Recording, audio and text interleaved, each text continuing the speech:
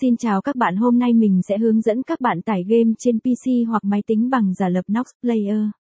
Bước 1, nhấp vào link trang web trong phần mô tả hoặc bình luận về video này. Bước 2, nhấp vào nút tải xuống trình giả lập. Khi quá trình tải xuống hoàn tất, hãy nhấp vào file nằm ở góc dưới bên trái và chọn nút cài đặt để cài đặt trình giả lập trên máy tính của bạn.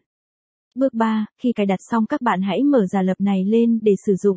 Và vì mình đã cài giả lập này rồi nên không cần cài lại nên mình sẽ tắt bảng cài đặt này đi. Bước 4, khi mở giả lập lên, bạn nhấn vào ô tìm kiếm và viết tên game, sau đó nhấn Enter và chọn vào game trên màn hình bước 5, sau đó bạn sẽ được chuyển đến trang đăng nhập tài khoản, và bạn hãy sử dụng tài khoản Google để đăng nhập và đây là yêu cầu bắt buộc, nếu không đăng nhập thì không tải được game, và vì mình đã đăng nhập rồi, cho nên không cần đăng nhập lại và bạn chỉ cần đăng nhập một lần duy nhất.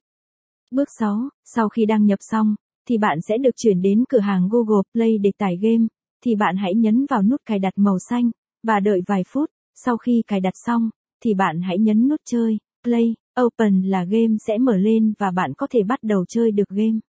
Nếu bạn có bất kỳ vấn đề nào trong trò chơi, vui lòng viết bình luận trong video này. Chúc các bạn chơi game vui vẻ.